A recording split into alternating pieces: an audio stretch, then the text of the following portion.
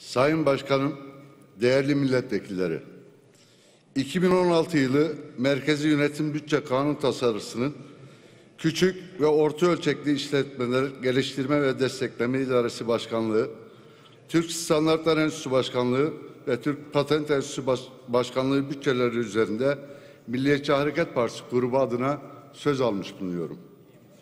Bu vesileyle heyetinizi ve televizyonlarda televizyonların başında bizi izleyen aziz milletimizi saygıyla selamlıyorum. Bütçe belirli bir dönem içerisinde gelir ve giderlerin oranlarını ve niceliklerini önceden belirleyen, onaylayan ve bu işlemlerin yapılmasına izin veren kanun veya karar. Bu kanun veya karara yasama organının yürütme organına verdiği bir yetki şeklidir diye tarif edilmektedir.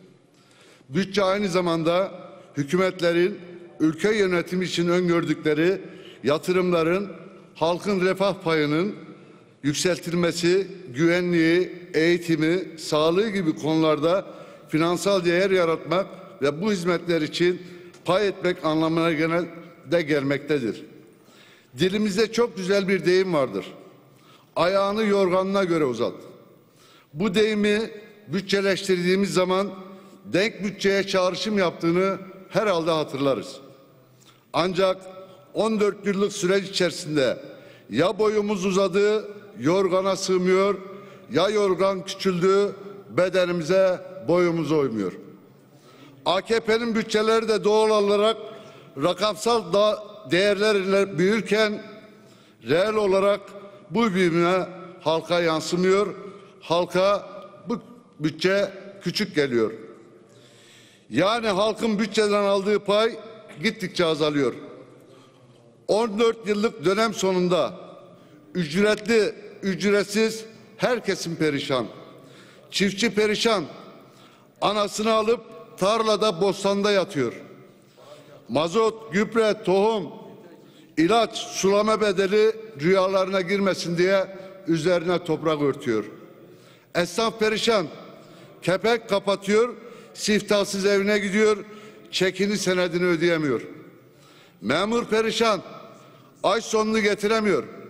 30 günlük aylığı 10 günde bitirerek bankalara koşuyor. Emekli perişan, ikinci, üçüncü iş bulursa hayatını devam ettirmeye çalışıyor. İşveren perişan, bertaraf olmaktan korkuyor.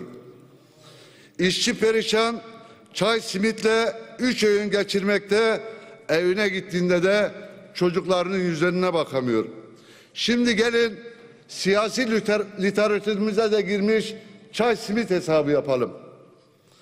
Beş kişilik bir ailenin sabah, öğlen, akşam bir simit, bir çay ile öğün geçirdiğini hesaplasak günlük 30 lira, aylık 900 lira. Geriye kalıyor 400 lira. Bu 400 lirayla ev kirasını versin, çocukların masrafını mı karşılasın, mutfak masrafını mı karşılasın, elektrik su parasını versin? Ne yapsın? Nasıl denk bütçe oluştursun? Burada birilerinin söylediği gibi şeker, tuz yok. Yumurtayı, makarnayı lüks diye saymıyorum. Hele hele burada yağ hiç yok. Bildiğiniz margarin veyahut da sıvı yağ. Açlık sınırının altında yaşayan milletimiz kadercidir, şükürcüdür. Kimilerine göre de fıtratında var. Onun için de bütçeniz hakça adaletli bir bütçeden çok uzak durmakta. Yukarıda saydığım herkesin düşen pay 14 yıldır artarak azalmıştır. Millet perişan. Siz pembe tablo çizerek halkın refah içerisinde olduğunu söylüyorsunuz. Ancak gerçekler öyle değil. Ama haklısınız. Perişan olmayan bir kesim var. Onlar da mücahitlikten müteahhitliğe, yandaşlıklar, yalılara, rezistans, rezidanslara terfi eden, bütçeden istediğinden fazlasını alan kesim. Sizin için halk bu kesim olmalıdır diye düşünüyorum. Şimdi AKP şunu diyebilir. Biz 11 defa seçim kazandık. Yüzde 49 buçuk oy aldık. Doğru. Sosyolojik bir olay. Ancak halk size oy verirken dış politika, politikadaki teslimiyetçinize, zikzaklarınıza, terörü elinizle büyütmenize, askerimizin, polisimizin terörle mücadelesinde katliam denmesine göz yummanıza, toplumu ayrıştırmanıza, hayat pahalılığına, ülkenin zenginliklerini yabancılara peşpeş, peşkeş çekmenize oy vermedi. Siz nasıl ki her sıkıştığınızda aldandık, aldatıldık diyorsanız siz de milleti aldatarak, kandırarak bugünlere geldiniz. İktidara 3C ile geldiniz. Yolsuzluk, yoksulluk, yasaklar. Ama yumurtayı una akıttınız. Gemicikleri taka, bütçe açığını sarrafa, ayakkabı kutularına aksesuar, çelik para kasalarına elbise dolabı, para sayma makinalarını kağıt öğütme makinesi yaptınız. Daha bitmedi. Siz siyasi parti mensuplarına kaset komplosu, kozmik odaya suikast planı, askeri yan gelip yatan, cami bombalayan, polisi, hakimi, savcıyı, paralelci, gazeteci, yazarı, terörist, televizyonları, gazetecileri ya kapattınız ya da yandaş yaptınız. Sonra da kandırıldık, aldatıldık dediniz. Yolsuzluk ve yargıda kendinize, yoksullukta millete gereğini yaptınız. Adaletsiz, dengesiz, rakamlarla oynanmış bir bütçe ülkemize yakışmıyor. Onun için de kurumların da durumu AKP'nin bütçesi gibi. Sayın Başkan, değerli milletvekilleri, konuşmama COSGAP bütçesi üzerinden devam etmek istiyorum. COSGAP, küçük ve orta ölçekli işletmelerin payını ve etkinliğini arttırmak, rekabet güçlerini ve düzeylerini yükseltmek, sanayide entegrasyonu gelişmelere uygun bir biçimde gerçekleştirmek amacıyla kurulmuştur.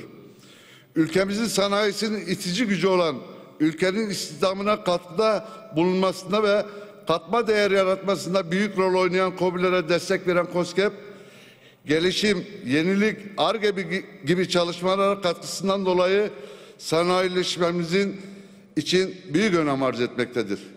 Değerli milletvekilleri, KOBİ'ler için önemli bir kuruluş olan KOSGEB, AKP iktidarları döneminde maalesef hep yolsuzluk, usulsüzlükle anılan bir kurum haline gelmiştir. Kurumu ehliyetsiz ve liyakatsız kişiler tarafından yönetildiğini, ahbap çavuş ilişkisinin kurumun bünyesine girdiğini ve yerleştiğini söylemek mümkündür. Kendilerini danışman şirket olarak tanıtan dolandırıcılar, KOSGEB'in hibe ve kredilerinden yararlanmak isteyen girişimcilere bu desteği garanti ederek hem fikri hem de parasını alıp ortadan kaybolmuşlardır. Bu, bu fikirleri başka şirketlere satarak haz, haksız kazanç sağlamışlardır. Demek ki KOSGEB'de bazı şeyler yanlış gidiyor. Bazı firmalar korunuyor, her türlü desteklerden usulsüz bile olsa yararlanıyorlar.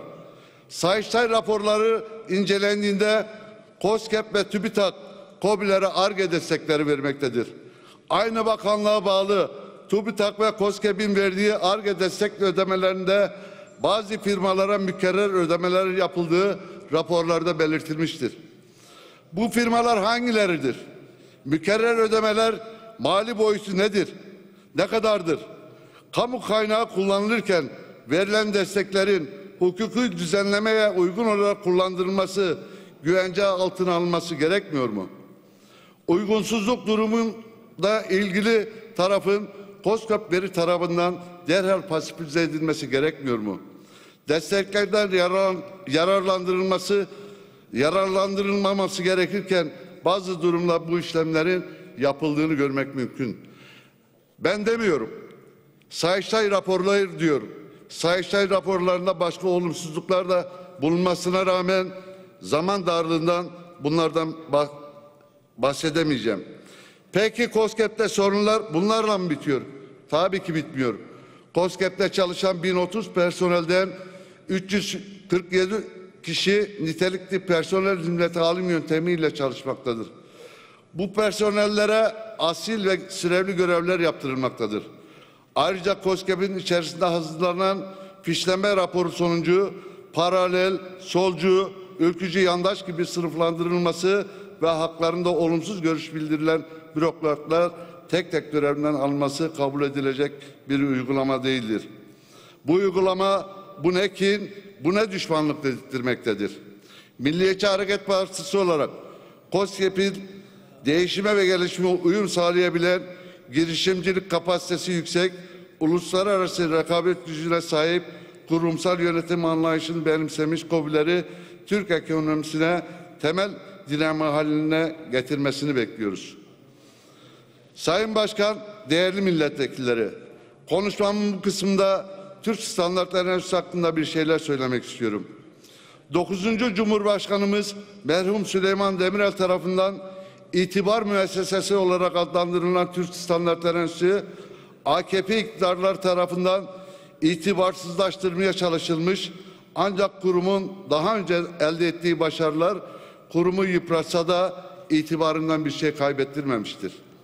AKP döneminde kurumun uluslararası benzer kuruluşların baskısıyla fonksiyonları azaltılmaya çalışılmış, kanunda yapılan değişiklikler ve 5018 sayılı ka- kamu maliyesi kontrol kapsamına alınarak rekabet etme şansı elinden almıştır. Birçok yabancı şirket mevzuattaki boşluklardan yararlanarak yüksek ücretlerde sistem belgelendirme yapmaya başlamış. Bunlarla da ilgili bir denetim sistemi TÜBİTAK tarafından kurulamamıştır. Eşit işe eşit ücret söylemiyle personel arasında farklılıklar yaratılmış, kurumu bilmeyen, teknik yeterliliği bulunmayan, dışarıdan getirilen yandaş ve yanlış personel kurumu pasif hale düşürmüştür. Kurumda çalışan personel maaşlarından kesintiler yapılmış, verilen zamlar onların kesintilerini karşılayamadığı gibi emeklilik durumlarında da mağduriyetlere yol açmıştır. Ancak üst yönetimde ve yandaş olanlarda bu durumdan etkilenmemiştir. Bunun sonucu da personel arasındaki iç barışı bozulmuş, haksız bakan ve atamalar ve verilen ünvanlar hem kurumsal itibarın kaybına hem de personelin maddi kayıplarına farklı ücretlendirilmelere sebep olmuştur. Nitelikli personel bunun sonucu olarak başka kurumlara gitmek zorunda kalınmıştır. Bu durum acilen çözülmelidir. Ayrıca TS belgelendirme kuruluşudur. Bağımsız bir kuruluş olan TS'nin kamu kurum ve kuruluşlarından belgelendirme işlemlerinde öncelik tanınması, kurumların iş güvenliğinde de üstlenmesi bu konudaki bir eksikliği de giderecektir. Sayın Bakanım, bir konuyu da söylemeden geçemeyeceğim. Otomotiv test merkezi.